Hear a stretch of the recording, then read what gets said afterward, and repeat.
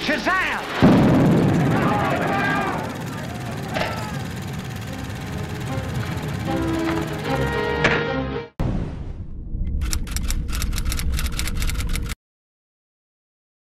Hey, what's going on, guys? Welcome back to our channel here at Underdeveloped, where we cover everything movies and television.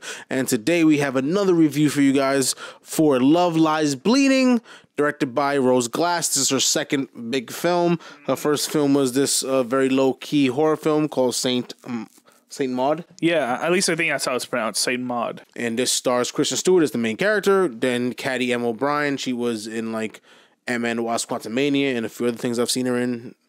Uh, Jena Malone, Anna Baryshnikov, Ed Harris, Dave Franco. It's nice to see him and stuff again. So pretty much this film is about uh, well, the main character is Kristen Stewart. She's kind of this uh, lesbian, dykish, tomboyish kind of person. Um, she works in in this uh, in this gym, and sh- and one day uh, Jackie, played by Katy M. O'Brian, just this bodybuilder chick who has aspirations to go to uh, Vegas. to go to Vegas to um to to to uh to participate in this competition, and I'll win her enough money so she can you know go go become a trainer and do her thing and live her life. Um, she so she gets this new job at so so she so she gets this new job. She kind of fucks Dave Franco to get there. And um, as perks in this new job, she's able to go into the gym anytime she wants. And this gym is where Kristen Stewart works. Yeah. Um, and then that's when they meet. They kind of fall in love and get into this relationship. So you know, chaos ensues.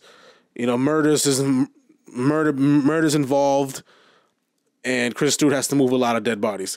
So the movie takes a turn, and it gets pretty chaotic. That's pretty much the story. Mm-hmm. Yeah. It's crazy just how many dead bodies Kristen Stewart actually has to carry throughout this movie. This movie is serious, but it has some comedic moments where it had the audience like, die. yeah, it has like some. It's darkly humorous at And points. it's, it's a very it's a dark humor, it's dark as shit. And a lot of dark humor involved in Chris Stewart always have to move fucking dead bodies. It's like a recurring theme. always moving bodies that fucking Jackie, the other character, the main character, drops. Because ba- basic, basically, uh, uh, also part of that part of the arc is that um, is uh Kristen Stewart's character Lou get introduces her to steroids. And she, she takes that and it's and just like you hit certain sound effects like you as you can you see her hulking out Yeah. and it's very nasty It sounds kind of gross. gross, you know, and, and it leads to obvious roid rage, which leads her down a dark path yeah. of killing and hurting a lot of people. And then getting caught up in Ed Harris's, who plays Chris Stewart's father, who's also a gun runner and a criminal. And they clash. So Yeah. It, this is very much a movie with a lot of big personalities coming at each other, just a lot of just drama coming to a head. It's very much one of those kinds of movies. It's just kind of it's a movie where expect expect all the expect chaos to ensue, basically. yeah, expect a lot of chaos. But that being said, like while this movie does have a lot of gross and chaotic moments, it also is like a kind of oddly heartfelt co- like ro- like romance at some points. Yeah. Like I think I do think the I do think the romance between the two main characters are, is handled very well. I think like they are very viable as a couple. Yeah, that's yeah. This is the year of gay romance, man. Yeah, between this and uh and Drive Away Dolls. They work really well. Yeah. I felt the connection. yeah, like the romances in both both movies held strong. Though I do think I do ultimately think this is the better movie of the two, like by a pretty decent margin too. I'll say this is better than Johnny Dolls, yeah. Yeah. But but but Johnny, Johnny Dolls were was good, but yeah, I think this movie's a little better. Yeah, same. Actually, I think the movie's just better in general. Yeah, I mean, admittedly, these are fairly different types of movies, but with that being said, I th- like I do think this is the stronger one. I And think, Kristen Stewart did a really good job. yeah, she killed it here. Yeah, she killed it. I think maybe even Oscar potential. You know, like Yeah. I just I thought I was really buying her. I already bought her as this character. Yeah. she was great. It's not even just about the actual like communication of dialogue, just everything, the personality, the Mm-hmm. looks, her the, her her costume design, her yeah, makeup, she brought that character alive. She did. her expressions, her attitude, like just everything about it just worked well with his character. You know. Mm-hmm. Yeah, like I was really impressed with, with both Kristen and Katy. To be honest, I thought they both Yes, they killed it. Yeah, they both they both did pretty good. Yeah, Ed Harris was Ed Harris. yeah. um, he, he plays the same character in a lot of Dave Franco movies. played a real tool bag. yeah, he did. He played such a skeevy motherfucker. Yeah, a real piece of shit. Yeah, I was I was actually pretty happy to see what what happened to him, even though it was so graphic. And Jena Malone plays the sister. yeah, and she has like Stockholm syndrome. She's kind of not the greatest character. Yeah, Kind of embraces the whole abuse thing, and Anna justifies it.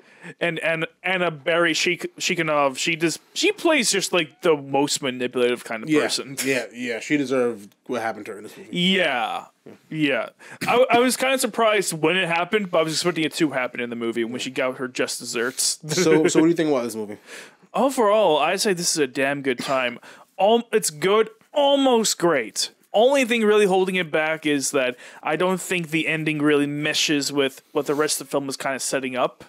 I feel like I, I get it subverting expectations can often be good, but here it's like I feel like it's just kind of cheap because it's it's very much a movie like it kind of reminds me of a Coen Brothers movie, oddly enough, just in general in terms of like okay, shit's gonna hit the fan, a lot of bad stuff's gonna happen, but no, and this is a movie with like a kind of almost like a weird take on a Hollywood happy ending, Yeah. but like but with this more sur- surreality to it. I'm like, mm, I'm really not crazy about that ending, but the rest of the movie is really damn good.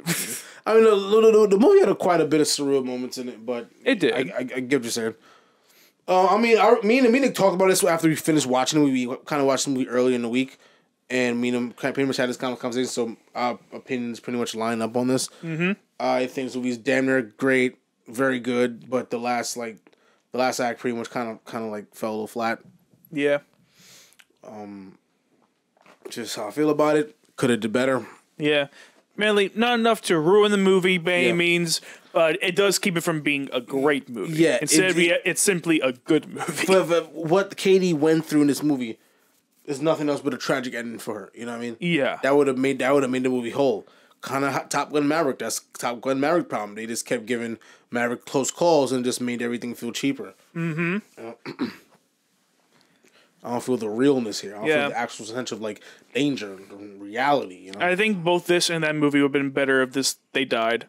If like if Yeah. Jackie and Maverick both died in, in these movies, I think that'd been way just better. Little disastrous Romeo and Juliet shit. it would have been powerful. Yeah. Like honestly, I was going to this, like halfway through the movie, I was expecting like a Thelma and Louise style ending. To be perfectly honest, I've never seen that one. ah, it's a very good movie. I heard that's what uh, I, I know Brad Pitt's one of Brad Pitt's first big roles. I forgot he was even in that. But that was one of his first big roles. That was his first Yeah. big shot. Mm-hmm. Them, they let, let him to get his first real big role was um that was like his first real big leading role. That was interview interview with a vampire. well, yeah, because he's definitely not a lead in Thelma and Louise. But that was the movie that. But that was the Stumble Louise is what put him on the map though. Mm-hmm. And that's according to him. Yeah.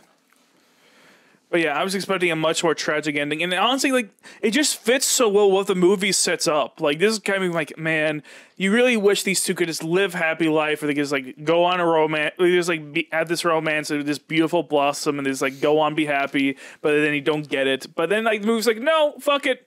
You do get it, but you get it in this really weird way with like literal giant transformations.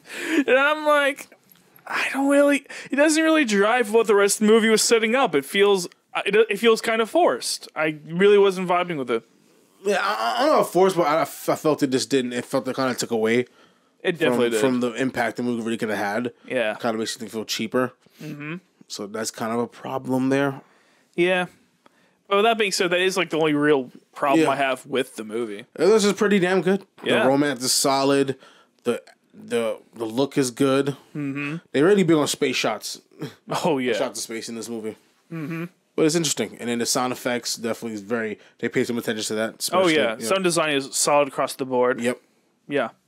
Overall, just a good movie. I can easily recommend this to most people. To be perfectly honest, I'll give this. My score for this is by eighty-seven.